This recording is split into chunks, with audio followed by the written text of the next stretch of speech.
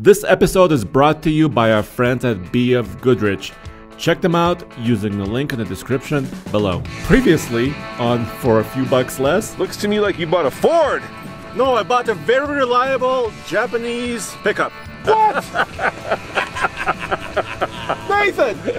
I, at first I thought that it was an S10 you pulled in. Uh, it's a Blazer? Really? Dude, You bought a Ford. Yeah, bring it up a little closer if you can. And the transmission is still there. Come on, Jeep. I'm beating him. I'm still beating him. It smells like a Reno strip club, is what it smells like. Okay, there's a little bit of cigarette and shame, but it's okay because that whole thing helps with the ambience. Gotcha. And, and since when have you been to a Reno strip?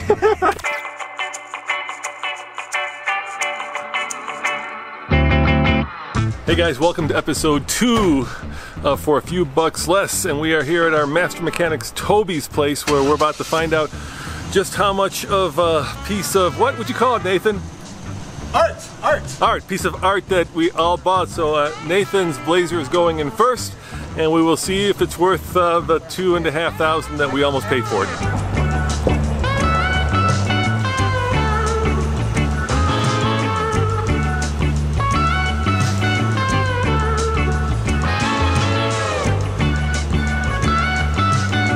Now, Toby's a real expert with anything with four wheels, and he specializes in German cars, but he works on everything, which is pretty cool, right? Anything. I said that right? All those kind of four wheelers. Yeah. All right, that's Yeah. good to hear. It's got So, four wheels. this is Nathan's vehicle. Let's see who bought the dumpiest of the trio. So, what are your initial things? What are you seeing and smelling?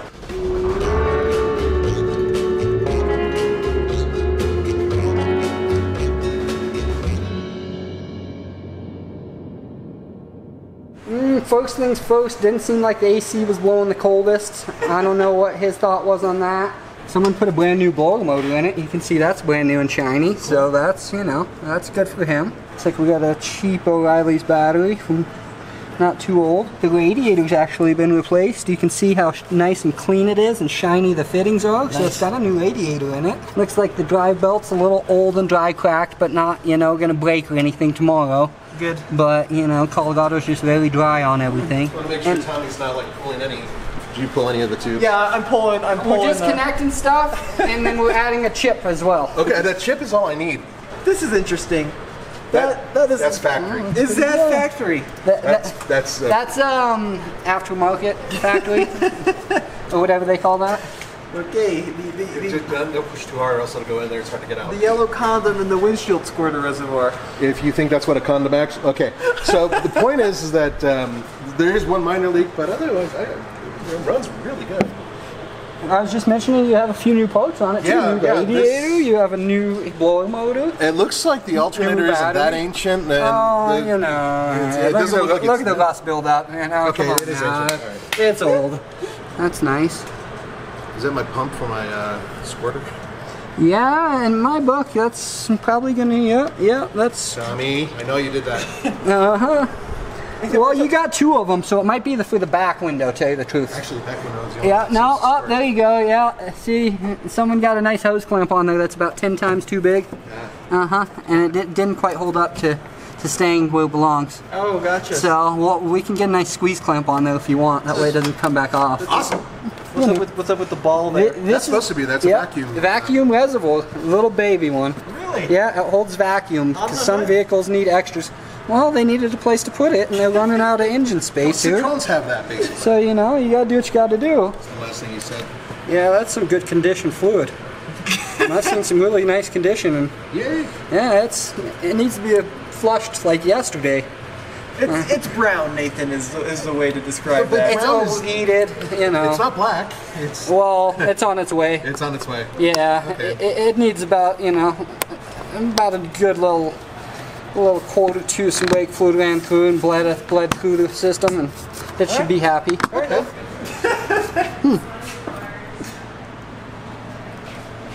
What are you, tie rods? Uh, something's loose, yeah. It looks like the front brakes are getting pretty low here. Well, you got a leak up front here This definitely looks like someone has a clamp on an oil cooler hose. So that's probably leaking. That actually is a good thing. It's, it's not a seal so far. Hmm, interesting. We have an aftermarket bracket welded here to this subframe. Why did they do that? You know, I'm guessing that this got bent so bad one time they had to actually fix it because if you look at this side, you can tell how original and factory it looks. Oh yeah. And then you go to this side and you see how cobbled and thin with the metal. The metal's thin here, this bracket.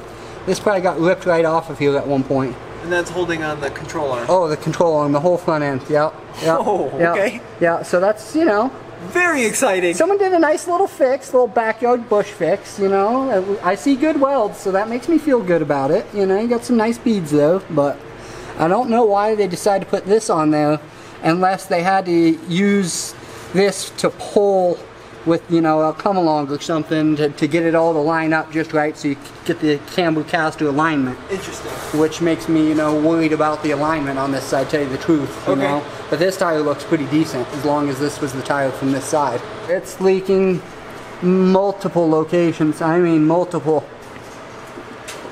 Oil from everywhere.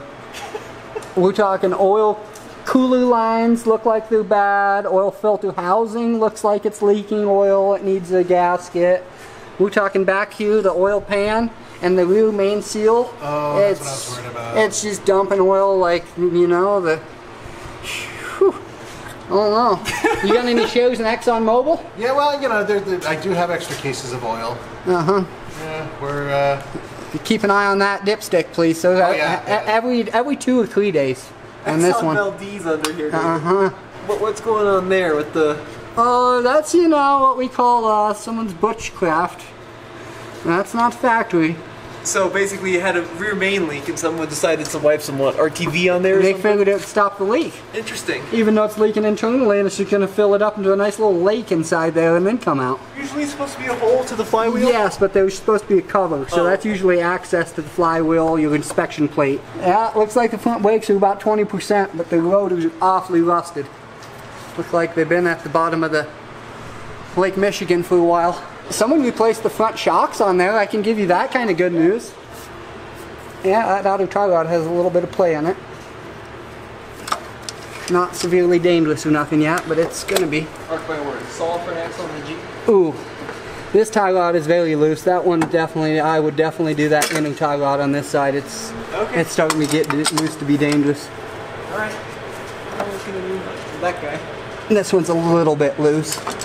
So eventually, really, it would need all four inner and outer tie rods to fix it right. But this inner one's dangerously. Particularly bad. Okay. Yeah, on, on its way, you know, to where I would say, It's time to do it. you know, another month from now, it's going to be a, I'm watching for you coming on at me. When I see you on Broadway, I'm getting off the side of the road. Keep moving down the line. He actually, the T case looks pretty good. That's the one thing I'm liking. Drill a few pinholes in there for him so it flows better. Ooh, it even has a rear sway bar. This is a high performance vehicle you brought in today, sir. Extra stabilization. Oh, look at that bump stop. I made double shift. That's just in case he happens to hit a big obstacle. She'll do the job. Well, Toby, the rear end looks pretty good. Oh, and the shocks are new in the back as well. Yeah. I mean, well, there's no eh, leakage. a lot less- some bang difference. yeah, a lot less things actually go wrong in the back of most vehicles. Got a little play on this wheel bang back here. Definitely don't like that. That one's got a tad bit. A little bit's normal. That one's got a little bit more than it should have. Yeah, it's got a little patina rust going on, but it's not necessarily very deep. A lot of it's mostly surfaced. Oh, nice. The fill plug looks like no one's ever been in the fill plug on this rear differential. I don't even know how much goo is built up on it, but there's a plug somewhere. Somewhere there. I think overall, should make it from A to B for a while. I, I'll take it. I'll take it. I think it's, uh, I, I feel better about this than the Ram. All right, so pretty big oil leaks in the front. Mm-hmm. Um, perhaps tie rods. Mm-hmm. And then rear diff service. Mm-hmm. And what else? What, what are the other big Front ones? brakes would be coming up soon. Okay. Really rusted rotors, so they might squeak a little bit until they're done, but they do have a little life left. You Okay. know, another oil change or so. Tires, of course. Safety. And then after that, just got to get it to the car wash, give it a good bath to see what's going on with these leaks, and that's how you'll know how bad it's going to be. Okay, what I heard was tires, lots of oil inside, everything will be fine with brakes. Good bath. Close? Just skip the inside bath. Go for the engine bay bath. En- Engine bay bath, yeah. okay. Yes. Yeah. Yes, sir. I, I can do that. Yes, sir.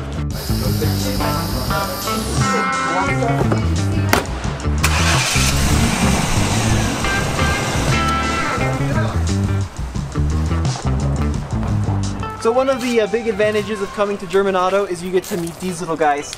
We got Tigger's the big one, and the little one is Theodore, and he is the cutest little guy to exist on this planet. And they're buddies.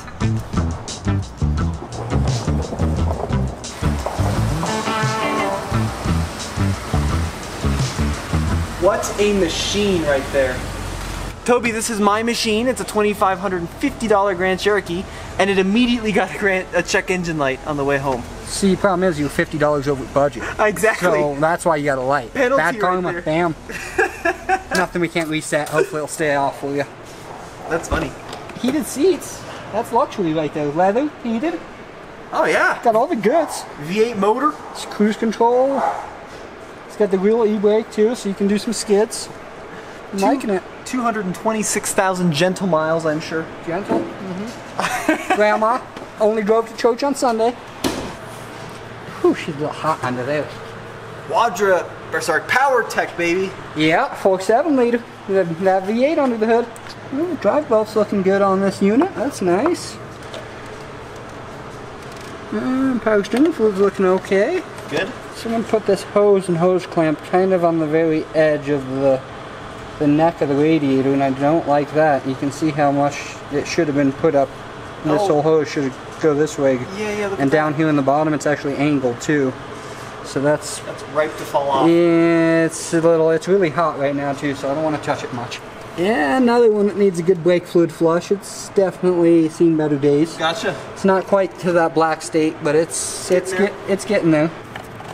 Someone's done a little bit of splicing and dicing Okay. In the injectors at one point. The injector wires on the thing, I can tell, put some tape on them and different stuff. Interesting. Some of these had bad wiring gone to some of the engine components on some of these.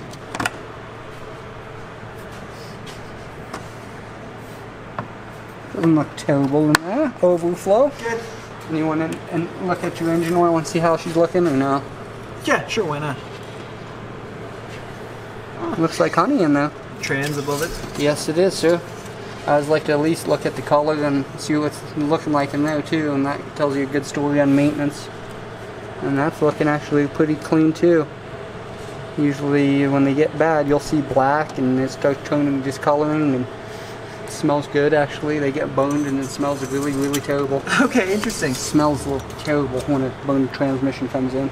Piece of top tip right there.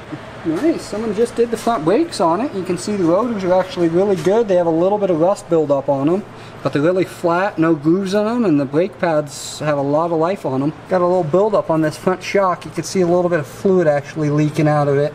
So it's going to need front shocks eventually. Okay. Feeling a lot tighter than that Blazer did, I can tell you that. Sweet. You have some old residue. Definitely some some leaks have probably been fixed on the thing throughout the use. Okay. I would give this one a nice little bath as well. Get it cleaned up so you can keep an eye on it. But overall, the dryness wise, we're talking a whole lot better. I do not like that. I see a little bit of a buildup of coolant right there on that. That thermostat housing it looks like, probably plastic. But there's just a tad bit of buildup of coolant. So that's something definitely keep an eye on. Okay. Make sure you don't have any puddles in the ground and keep an eye on the temp gauge. Yep. Looks like the engine mounts in this unit have seen better days. You can see they're actually collapsed. So if the engine's sitting lower than it should in that rubber one, oh, yeah, and they're yeah. really cracked around the edges of that rubber mount. So that's how I know the motor mounts are sagged, is the whole motor sitting lower than it should, and, Right and they're dry cracked. And some small leaks off the back of the motor, nothing to be concerned with. CV boot, looks like someone just put a brand new CV axle in it. You can see how nice the boot is.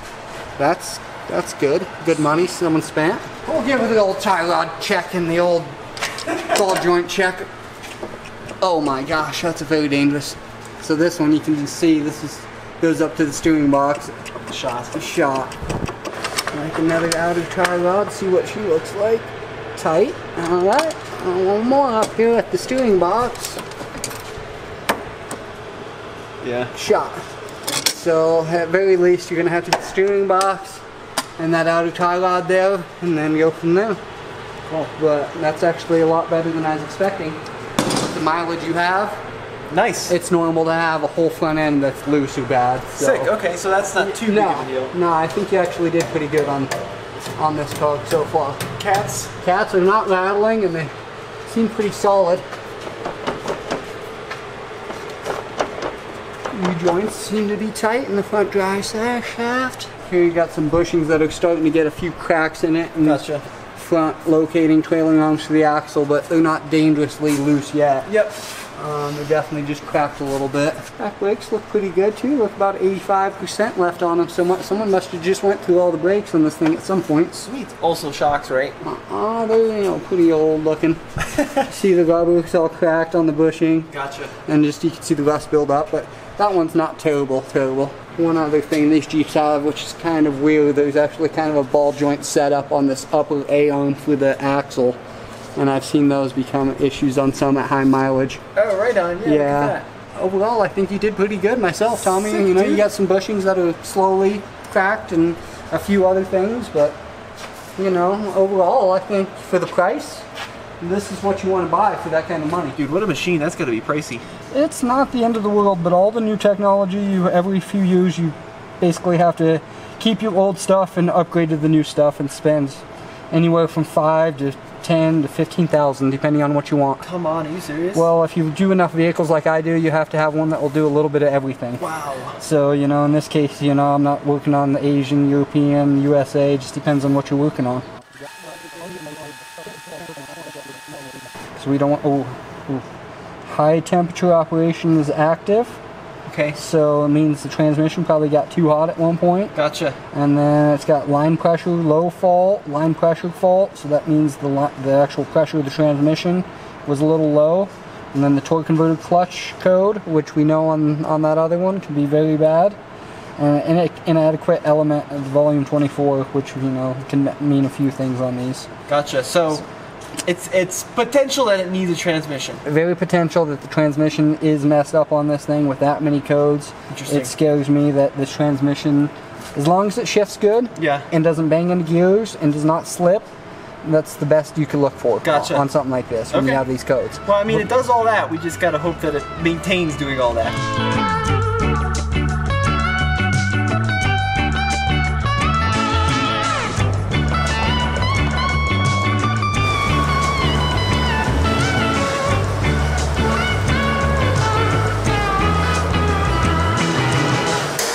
Andre's choice, a fake Ford Ranger. This is a Mazda B4000. Toby immediately not looking super happy. So, what are you what are you noticing right off the bat, Toby?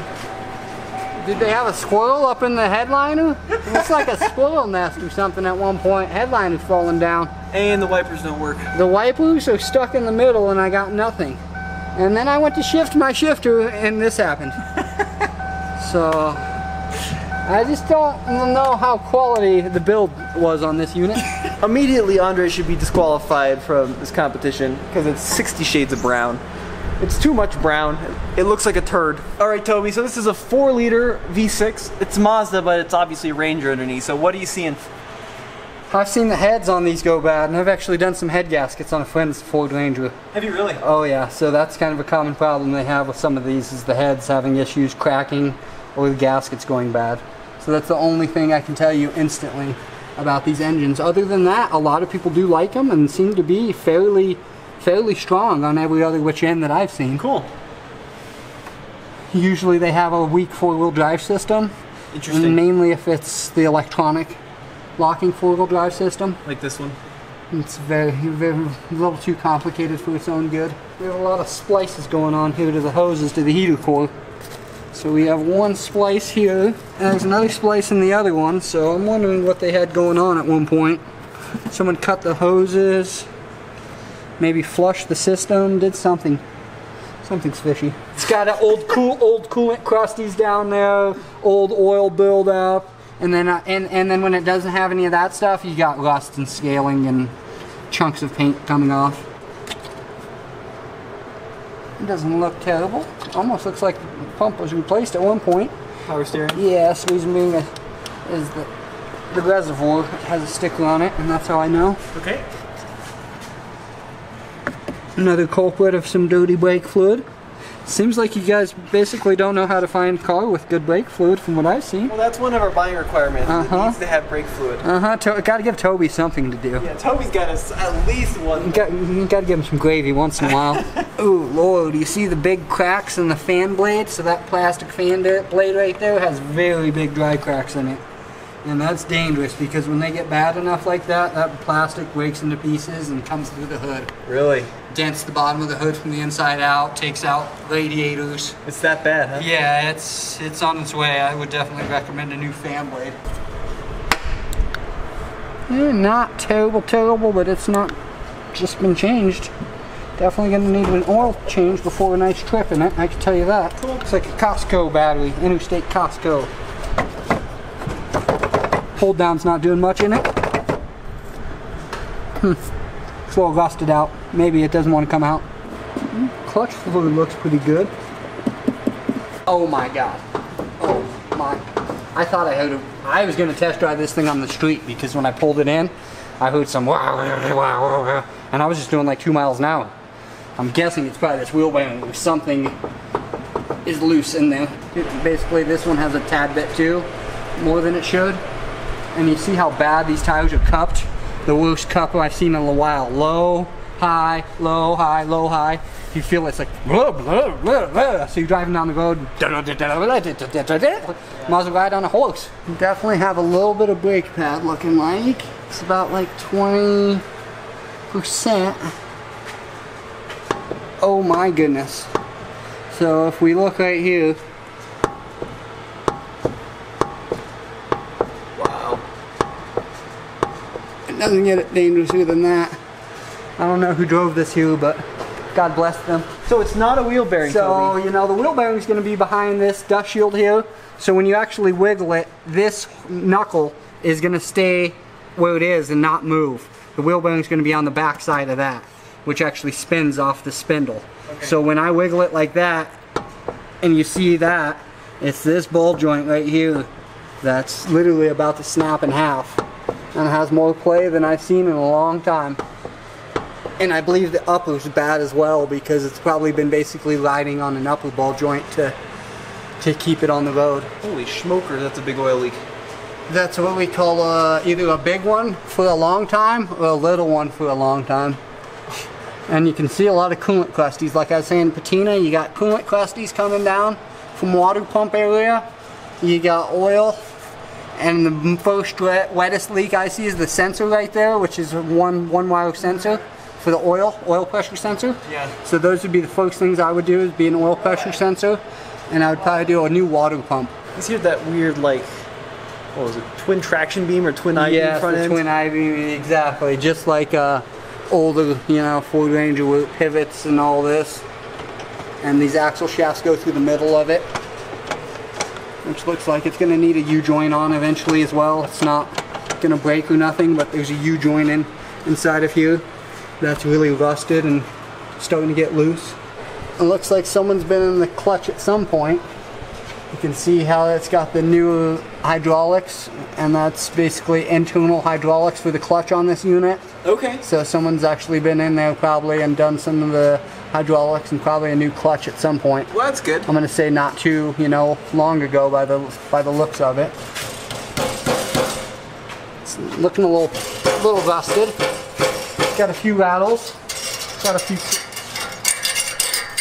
hmm, extras. Nice muffler. Yeah, this whole exhaust is just a little bit old worn out. All those hangers are getting a little loose and muffler's getting rusted out a little bit, but nothing that's gonna, you know, cause it to break and be on the side of the road. The main concern for me is gonna be that right front. Overall, I don't know. I think she's she's seen she's seen a hard life somewhere. This unit. Began its life with a cheap build and cheap parts and put together, and, and she's in, seen better days now. So, Toby, all right, you've got a choice of the three. You got Nathan's Blazer, which is the Exxon Valdez. You've got the Jeep, which was pretty good, but has some pretty scary warnings for the transmission. or you've got the Mazda with the totally worn out front end. Which of the three is best and which is the worst? I would say the best for the price that was spent would have been the Jeep. Okay. Even though the transmission codes are there. Okay. Because the reason being is it still shifts and it doesn't slip and the transmission's still working at this time. Okay. And you also don't know how long those codes have been in the system. Right. So we clear the system, we have you test drive it and see how long it lasts, and time will tell Nice. on that. But safety wise, I wouldn't even drive this one down Broadway. Okay. It's so bad. Gotcha. Second, second off would be that you know Valdez because the oil leaks are so bad and the tires are dry rotted. You know, once those are fixed, it'll be decent. So what you're telling me is it's, it's a tie for last place. Un- eh, Mazda took it. Mazda's the worst? Mazda took it, unfortunately. Just because of the front end? the front end, the rust, and some of the other issues I'm seeing. All right. The water pump and some of the other oil leaks and. Right. And that was not paid for. I didn't even slip him his 100 bucks yet for telling me I won. So, Toby, thank you for inspecting these vehicles. This was a ton of fun. Um, if it's okay with you, I'll probably leave this here. I would recommend it, please. All right, sounds good. And then we'll go from there.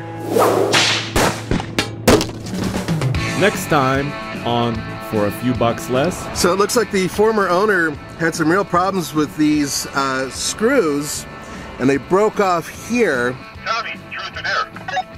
Oh, definitely dare. Nathan, truth or dare? Dare me, baby! Andre, truth or dare? I know my Mazda can do it. Don't like taking things with momentum, but with open diffs, you kind of got to take some stuff with momentum. Oh! Sorry, uh, uh, my, my shifter came off in my hand. Come on! Come on! Come on! Don't stop! It stopped.